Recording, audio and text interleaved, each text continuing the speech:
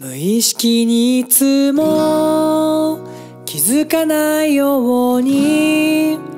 感じないように笑って暮らしてたんだな。旅先の風に夕暮れの街に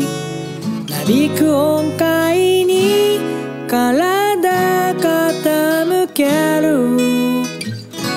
ただそれだけのことなのに少しくたびれているんだとあの日言葉にしたらまるでピノキオみたいに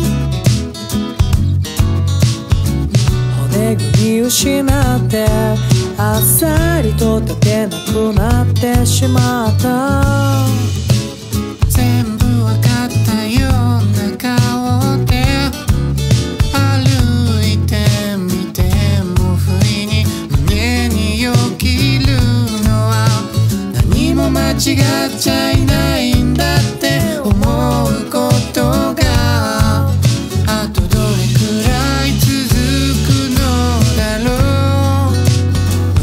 識にいつも響かないように浮かばないように背いて暮らしてきたけど寄せる喧騒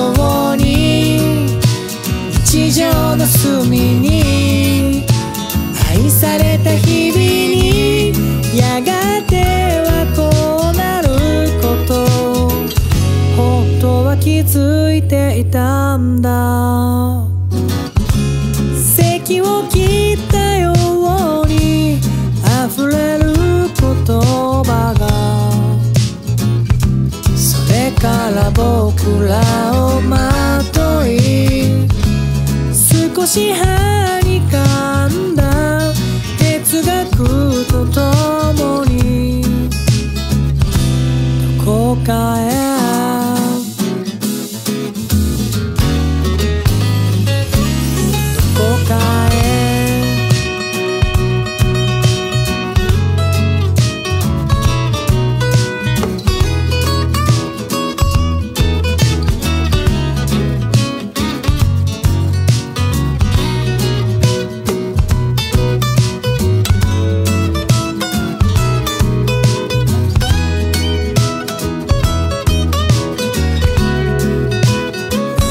きにいつも僕らは